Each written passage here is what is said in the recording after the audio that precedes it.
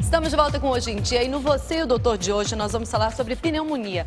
É a terceira doença que mais mata no mundo. São 2 milhões de pessoas que morrem por ano e essa doença atinge a todas as idades. Recentemente, nós perdemos o Calbi Peixoto e amanhã eu iria gravar um Tice Visita com a Taeme e o Tiago e a Taeme foi diagnosticada com pneumonia. Eu queria saber, doutor, uhum. essa doença é muito fatal? É uma doença que a gente tem que cuidar com muito carinho, principalmente agora, no inverno.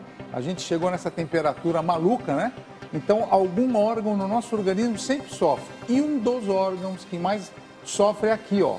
Esse órgão que estou mostrando aqui, o pulmão. O pulmão tem a traqueia, é o ar que desce aqui. Aí se ramifica no brônquio esquerdo, que entra no pulmão esquerdo e o brônquio direito que entra no pulmão direito. Aqui agora, lá dentro do pulmão, a gente está lá dentro, olha. Aqui tem os brônquios, tá vendo? Esses brônquios é que levam o ar lá para dentro do pulmão. E aqui, de repente, você vai ver dentro do pulmão agora o alvéolo, que é onde tem a troca gasosa. Esse alvéolo pode se encher de secreção, você não consegue pôr essa secreção para fora, essa secreção pode infectar e começar a pneumonia. Então, a pneumonia é um quadro infeccioso pulmonar. E eu vou mostrar agora numa arte que vocês vão ver em casa, como que acontece normalmente o nosso pulmão. Olha, o ar está entrando no pulmão, lá dentro é o alvéolo, essas bolinhas que vocês estão vendo é o movimento do oxigênio. O oxigênio está em amarelo, está entrando, e o branquinho é o CO2 que está saindo, tá vendo? Isso é a respiração normal. Agora vocês vão ver a respiração sendo feita de uma maneira normal, lá, normalzinho. De repente pode começar a ter um processo infeccioso, inflamatório no bronco, aquela coisinha branca que vocês estão vendo no, no alvéolo. Aí são os glóbulos brancos que vocês estão vendo, os leucócitos, lá dentro comendo as bactérias, os fungos. Isso é a nossa defesa, tá vendo? Porque todo o ar que você respira está contaminado. De repente, esses glóbulos não conseguem mais defender o nosso corpo contra essas bactérias e fungos, essas agressões. E isso vai começar a minar a nossa imunidade. De repente, esses glóbulos brancos não conseguem mais vencer a infecção. E olha o que está acontecendo agora. Essa começa a acumular secreção, pus, muco e essas bactérias tomam conta do alvéolo e começa então processo infeccioso chamado de pneumonia. Agora, doutor Sprouse, muita gente confunde a pneumonia com a gripe mais forte. Como é que a uhum. gente pode diferenciar esses dois quadros? Então, normalmente a, a, a gripe, é a, a gente vê primeiro os sintomas da pneumonia, né? Como a gente está vendo.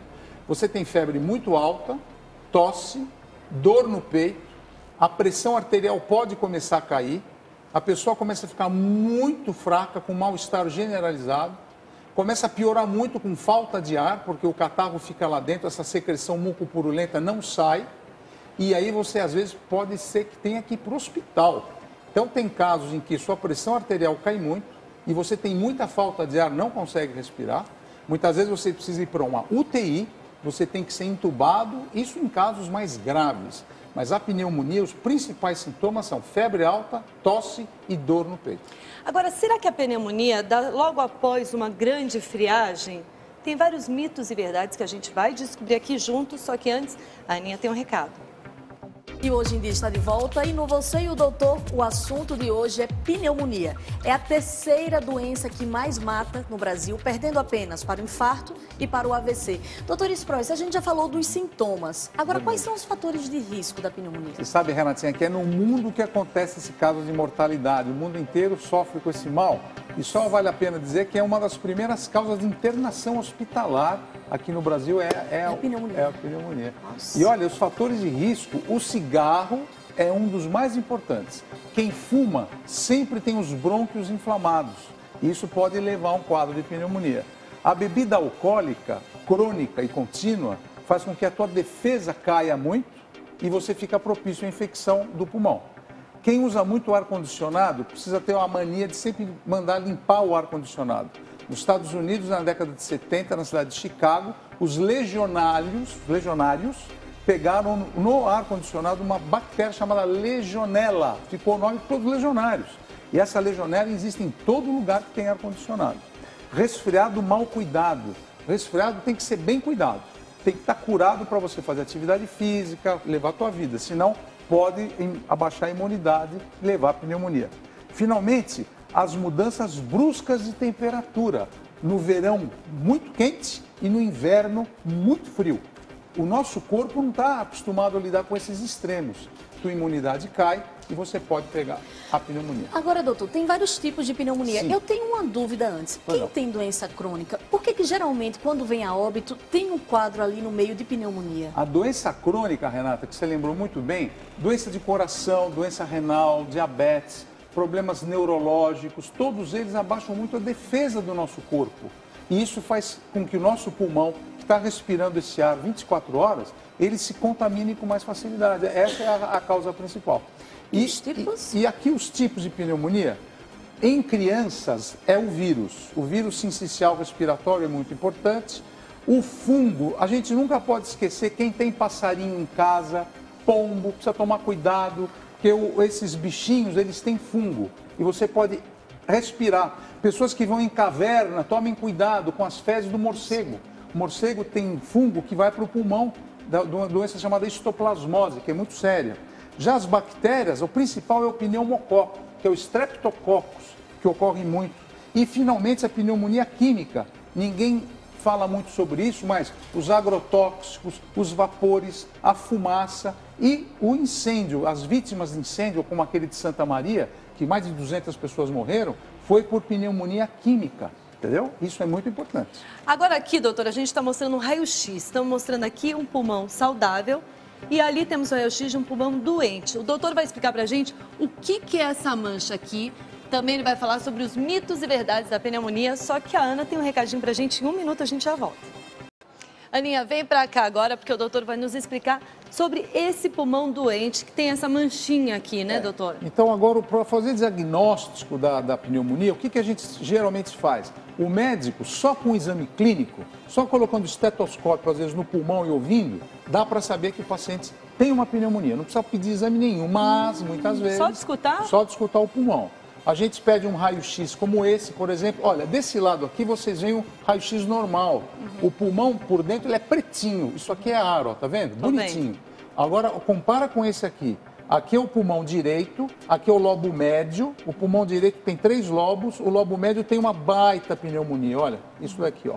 E aqui não tem nada. Então, isso é uma pneumonia do pulmão direito e a gente tem que tratar. Geralmente, o tratamento a gente usa antibiótico, antifúngico e assim. E depende do tipo de bactéria. Só de olhar o raio-x, a gente já mais ou menos sabe que antibiótico usar. Na maioria das vezes, não precisa internar. Tomando antibiótico, ficando em casa, em repouso, você melhora 100% e sem sequela. Mas eu tô vendo aqui que tem vacina. Essa É. vacina é para todo mundo, todas as idades? Então, normalmente, o, o- o calendário brasileiro de vacinação, aliás, o calendário mundial, né, preconiza todo mundo tomar vacina contra a pneumonia.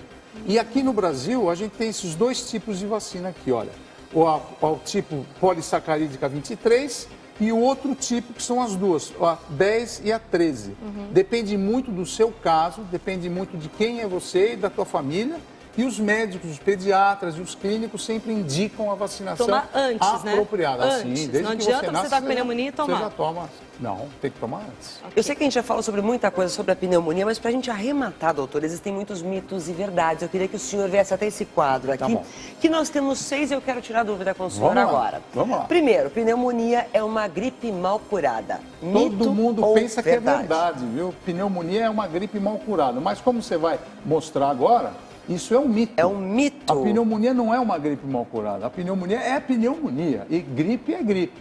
Agora, todo mundo fala, ah, doutor, eu estou com um princípio de pneumonia. Mito não ou verdade? existe mi- princípio de pneumonia. Pneumonia é pneumonia mesmo. Ela já está lá e não tem problema. Agora, em terceiro, problemas do coração aumentam o risco de pneumonia. Isso é sério e é verdade. Toda vez que você tem uma doença crônica, você pode ter mais riscos de pneumonia. As crianças são mais vulneráveis à pneumonia. É verdade. Como eu falei, crianças abaixo de 2 anos de idade, até de 5 anos, elas têm imunidade um pouquinho mais complicada. Podem pegar mais pneumonia. Precisa de mais cuidado. Mais cuidado. Pegar pneumonia pela segunda vez é mais perigoso. Isso é um mito. Você pode pegar até 5, 6 vezes pneumonia, que isso não é, quer dizer, é perigoso, mas você pode ter o seu sistema de imunidade bom e isso aí não tem nenhum problema. Em sexto, O indivíduo deve ser hospitalizado em todos os casos de pneumonia. Não é verdade. Você não precisa internar toda hora que você tem pneumonia. Só os casos que tem muita falta de ar e que a sua pressão arterial começa a ficar baixa. Doutor Sproster, mais uma vez, muito obrigada por sua aula. É um prazer estar com vocês aqui. Prazer é nosso. Você vai ficar ainda com o pessoal de casa, porque você vai daqui para o chat Eu do vou R7, pro chat, né? Já, já. Me esperem no chat que a gente vai conversar muito sobre saúde ainda. Isso, meio-dia o doutor tá lá para responder todas as suas perguntas. Taeme, um beijo para você e melhoras, viu? César.